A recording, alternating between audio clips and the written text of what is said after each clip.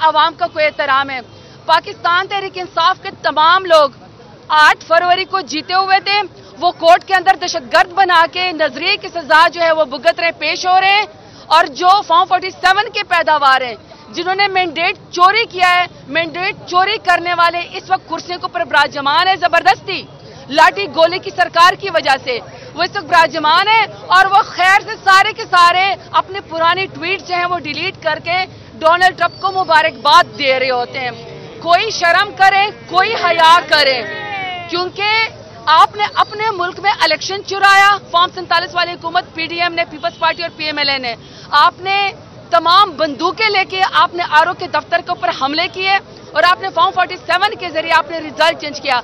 पाकिस्तान तहरीक इंसाफ एक मुसलमा हकीकत है। पाकिस्तान तहरीक इंसाफ सबसे बड़ी पाकिस्तान की पोलिटिकल पार्टी है। मेरे लीडर इमरान खान की लीडरशिप में हम जुड़े हुए हैं और इनशाला अभी सवाबी जलसा होगा। पाकिस्तान तहरीक इंसाफ आपको नज़र आएगी भरपूर पुरमन अपनी आवाज़ उठाते हुए और एहतजाज करते हुए। मेरे साथ कमल चौधरी साहब अभी खड़े वकील खड़े। I am really sorry media अब उनसे बात करें क्योंकि मैंने इस वक्त गुजरावाला एटीसी में जाके 302 कत्ल के मुकदमे मैंने जाके पेश हो। बता दें क्या पीटीआई जो है वो इमरान खान की रिहाई के लिए अमेरिका की तरफ़ देख रही है? देखिए, आप मीडिया के लोग हैं, हम सब। 25 करोड़ आवाम भेड़ बकरियाँ नहीं है। सबको पता है कि इमरान खान मेरे लीडर बेगुनाह है। उनको झूठे केसेस में अंदर किया हुआ है, क्योंकि सियासत में नवाज़ शरीफ, शहबाज शरीफ, जरदारी उनका मुकाबला नहीं कर सकते थे। हमें, मेरा ख्याल है कि दूसरे मुल्कों के बजाय अपने मुल्क में रूल ऑफ़ लॉ को ठीक करना चाहिए कि नौ नौ महीने साल साल वर्कर्स लीडरान बेगुनाह जेलों के अंदर बैठे हुए थे और उनकी जमानत भी नहीं होती। और अगर जमानत हो जाती है, बेगुनाह एक एक साल तो फिर कहते हैं कि ये कोई डील है। किसी मुल्क की तरफ़ देखने पर जाए, अपने मुल्क में रूल ऑफ़ लॉ के लिए हमने और आपने खड़े होना है। इंसाफ की खातर आवाज़ उठाते रहेंगे।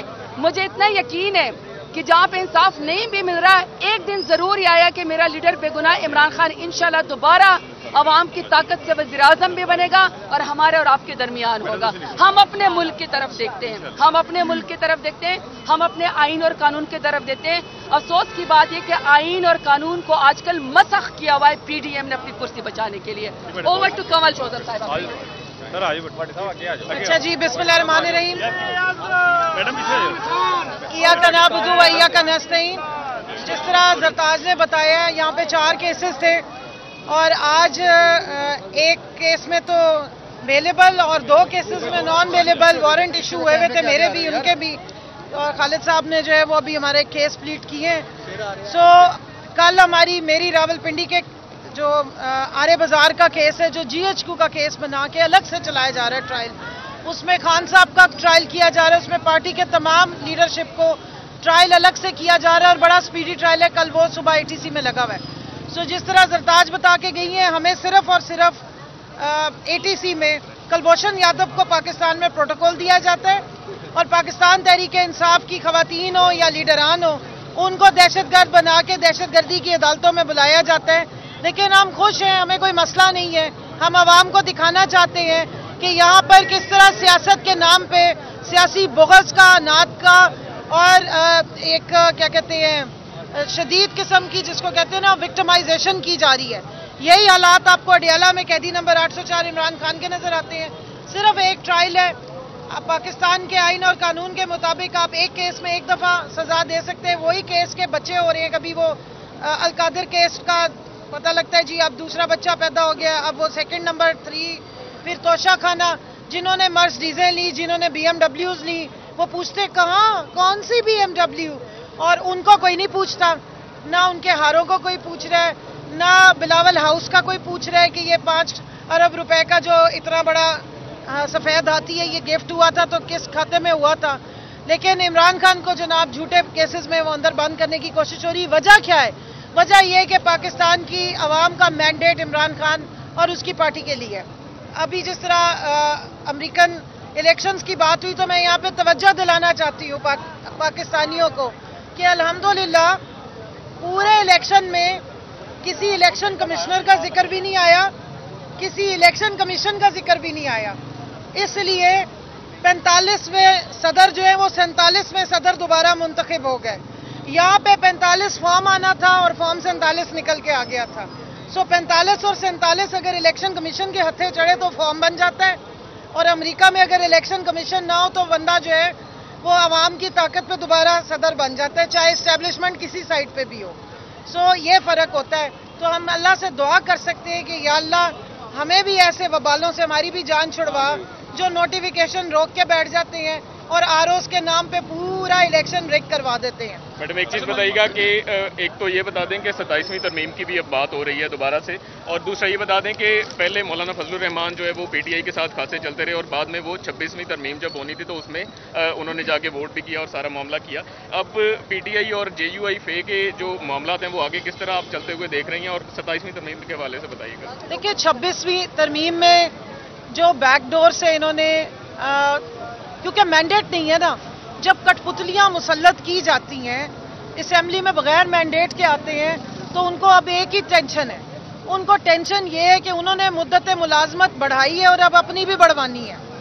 तो जब मुलाजमीन होते हैं ना, किसी ना किसी फॉर्म में मुलाजिम जो होते हैं, उनको ही अपनी मुद्दत मुलाजमत की फ़िक्र होती है। जो आवाम के वोट की ताकत पे आते हैं, वो आवाम की तरफ़ देख रहे होते हैं। इसलिए जब ऐसी तरह मीम होती हैं तो आधी रात को की जाती हैं।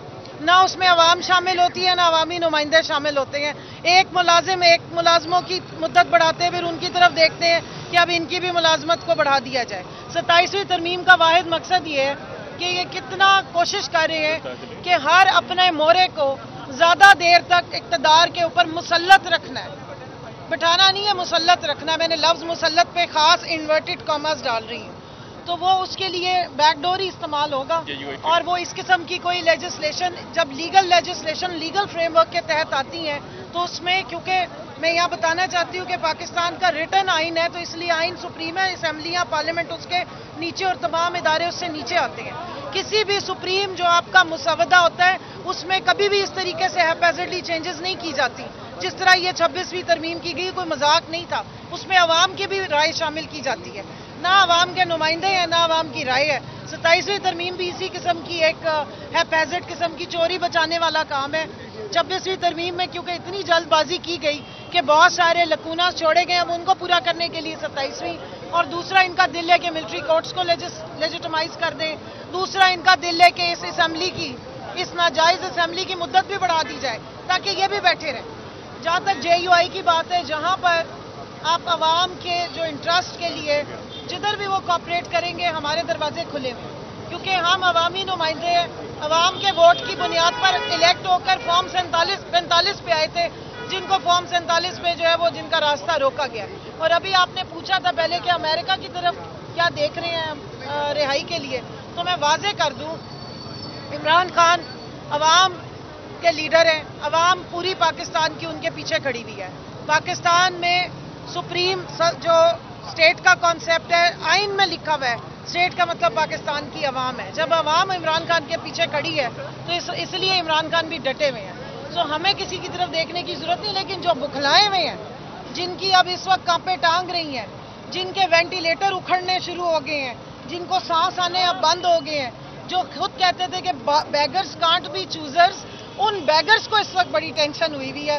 तो कोई जाके जनीवा बैठ गया है किसी के गले में दर्द हो गई है, किसी के पेट की चर्बी बढ़ गई है, किसी का छोटा सा ऑपरेशन आ गया है, वो सारे अचानक से चिड़िया का चंबा जो है वो पाकिस्तान से उड़ गया है। इस पर जरा नज़र रखिएगा कि क्या ऐसी वजह है, इतनी कांपे क्यों टांगनी शुरू हो गई है?